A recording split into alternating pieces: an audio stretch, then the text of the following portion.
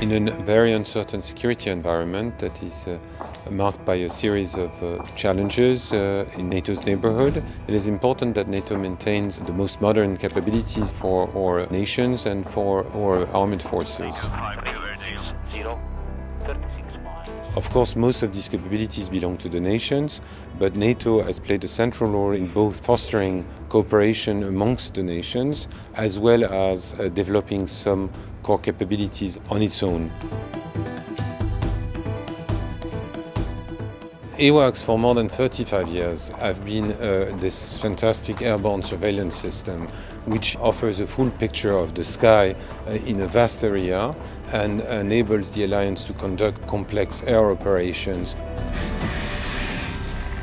in an environment which is uh, marked by the continuous missile uh, proliferation. The Allies have decided to develop ballistic missile defense together. That is very central in uh, developing the alliance ability to protect itself from the missile threat uh, emanating in particular from the Middle East where there are a number of countries developing missile programs.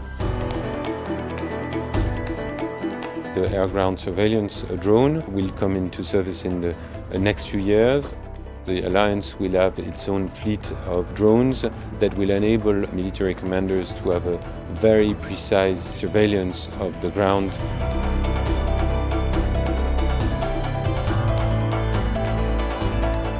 It is essential for, for the alliance to keep its military superiority. The Conference of National Armament Directors is one of the uh, important settings in which the uh, allies discuss those core capabilities and work jointly to share experiences with regard to capability delivery because those capabilities are the key to our security for the future.